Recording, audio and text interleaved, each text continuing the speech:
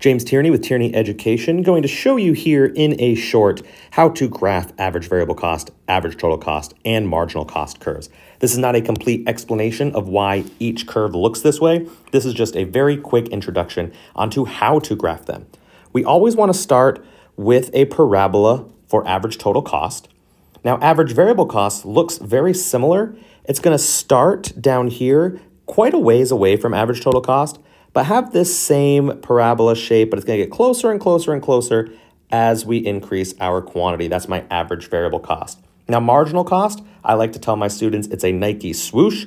Starting way down here, it goes down, and it's always going to cross at the minimum AVC and ATC. That's your marginal cost curve. If you can graph the average total cost, average variable cost, and marginal cost curves like this, you're well on your way to understanding the cost curves in a microeconomics class.